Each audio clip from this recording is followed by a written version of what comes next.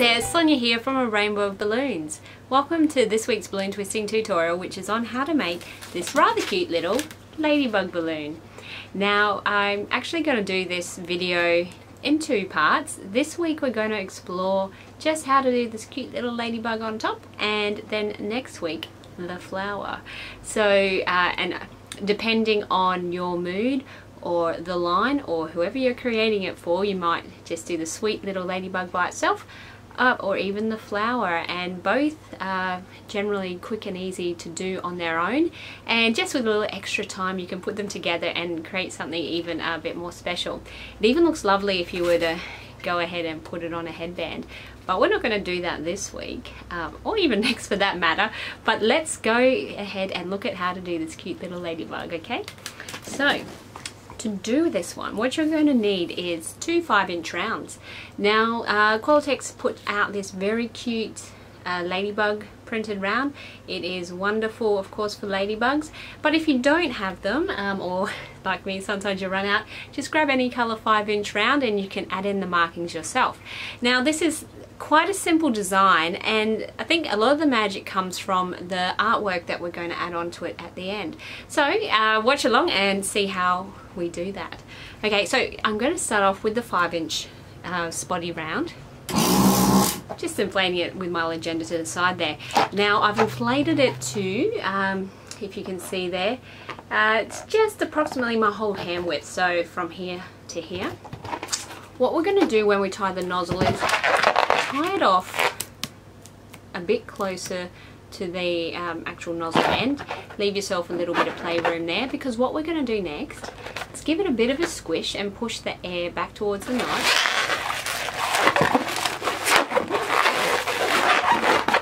Twist it off.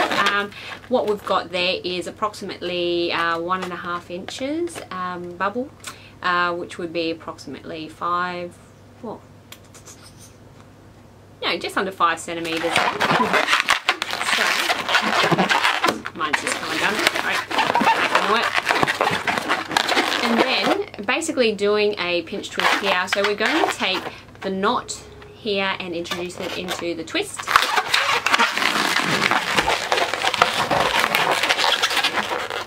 Put that knot on the other side of the twist, see how it's there, and not um, just the end between the nozzle and the knot because that knot's going to help lock it in a little bit in place.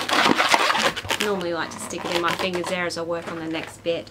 Now, oh, with the 5 inch round, we just want to put in a small amount of air to it. You, you can go a bit bigger if you choose to, but I generally try to keep it quite small.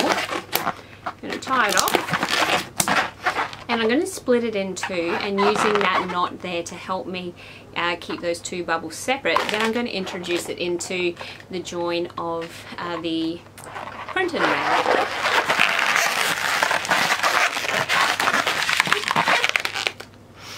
So that's approximately um, the air in the two sides.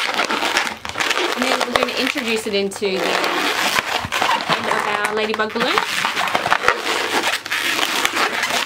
lock it in place by even twisting those at that split white round on itself to help make sure it's going nowhere.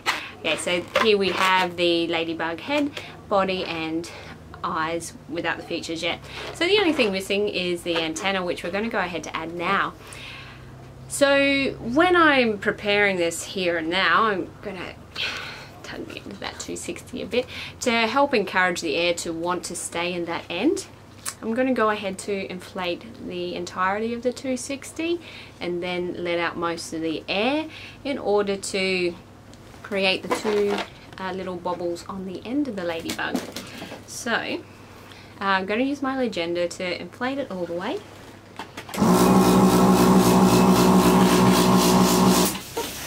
Once it's there, holding on to the nozzle end, don't let it go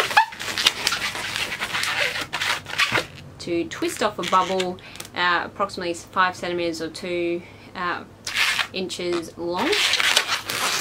Then that uh, those twisters are, uh, are, a bit of security to help ensure air stays in that end as I let air out the opposite.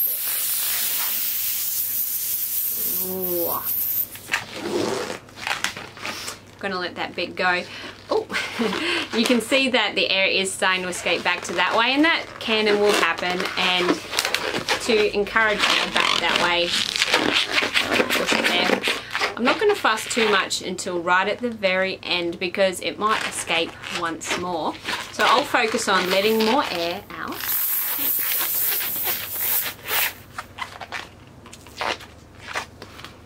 So right now most of the air's escaped back so it seemed a bit futile that additional effort at the beginning. However, sometimes it does stay there. I've got the air conditioner on in my room and the balloon tends to behave a little bit differently as to if I was outside in the field as it were creating designs.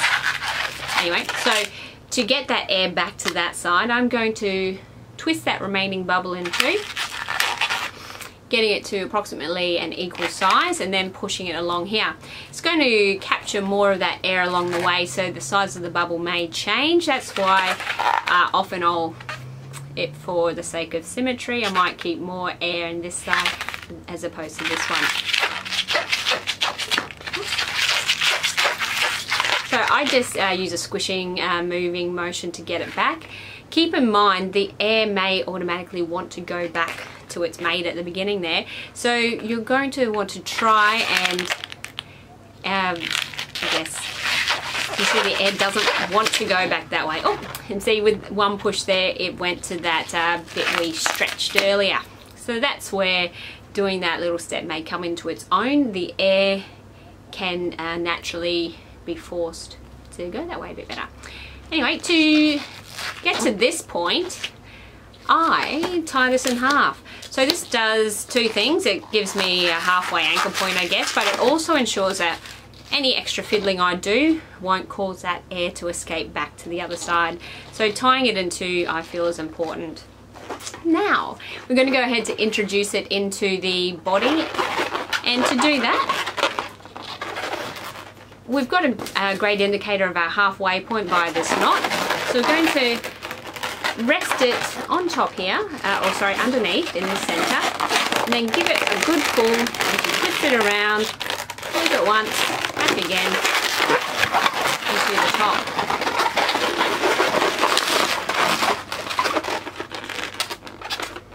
So there's that cute little fella.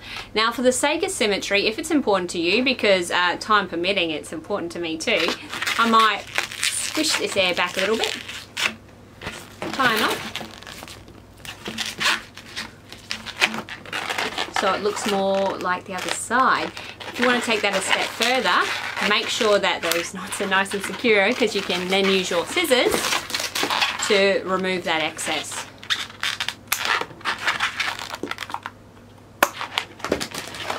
That way they both look samesies and uh, you might feel a bit better about it. That's if you get truly uh, pedantic, which, um, yeah, okay, sometimes that's me. Anyhow, so now we're going to get ready to do the artwork. Um, normally I grab a pink or a red to add some cheeks to my little bug. And I'm going to do that a couple of ovals on here. Now, because pinks aren't always the best choice on a red, it doesn't show up for the best, but um, the pink was the closest marker to me today and you can still see it and if it's important to a child to um, to really see it, they'll tell you. They'll say, hey, you can't see that, so hey, grab your red marker and give it another go. Anyhow, wow, we're going to give it a cute little smile right in the center of those cheeks that you really can't see. I like to do a bit of a U, so a simple, sweet, innocent smile. Now, uh, where the artwork comes into its own is for the eyes. So, to do the very cutesy thing, what we're going to do is draw three circles. Two, three. So as I've drawn them, um, focusing on trying to get the white part to be circular, not so much the outline if you know what I mean. So where you start and finish with your marker for each circle can cause your um, white loop uh, or white shine of the eye that we've created to be a bit distorted and if it does that's okay but I'm just pointing out uh, if you uh, tend to be a perfectionist about these kind of things something to be aware of. Now I'm going to draw a bigger circle around all these to connect the three and then colour it in. And it's basically just connecting in those gap areas and we're just going to go ahead to fill in those uh, gaps created by our last bit of marker work.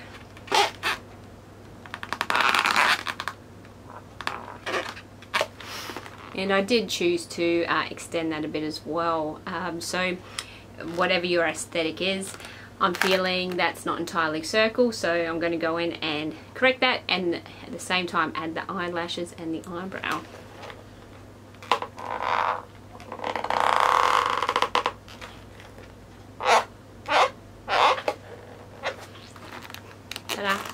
Alright, so that's one side. I'm going to go ahead to repeat the process on the other.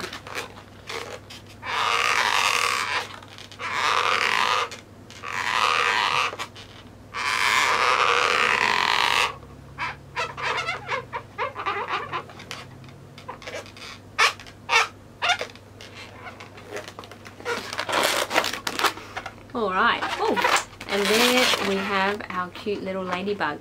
So as I mentioned, you can introduce it onto a flower, like this one here, to get this really cute uh, iteration of the ladybug. So the ladybug on a flower.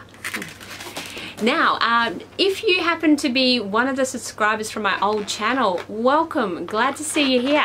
If you're uh, a new watcher um, or a current subscriber, it's great to have you along to see uh, the balloons that I'm creating for you. Now, um, if you have any requests for any balloon tutorials, make sure to pop them in the comments below and um, maybe let me know if you were a previous subscriber um, or if you are a new one to the uh, Rainbow Balloons video tutorials. anyway, I hope you enjoyed uh, the video today and I look forward to seeing you next week. Cheerio!